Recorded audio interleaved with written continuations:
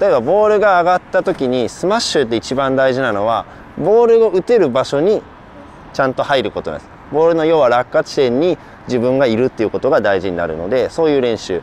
で今からやってもらうのは普通に上に投げてスマッシュの体勢を作って左手でキャッチ。これだけ。はいやってみましょう。めちゃくちゃ簡単ですよ。左手で。うん。別にどう投げてもいいですよ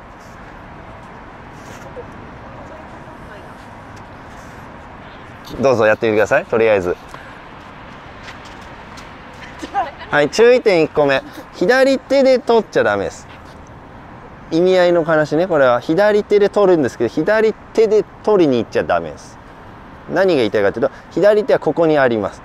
動くのは自分の足です。だからこう上がった時にこう取るのは OK こう取るのはダメです。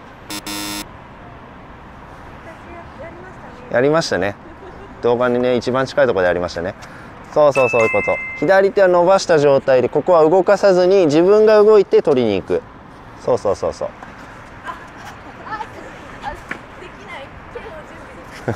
落下地点落下地点に入る練習ですからね。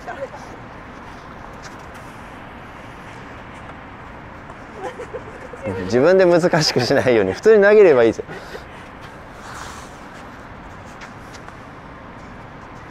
半端なかった難易度上げすぎですよ。そうそうそういうことそういうこと。落下地点に入る練習ですからね。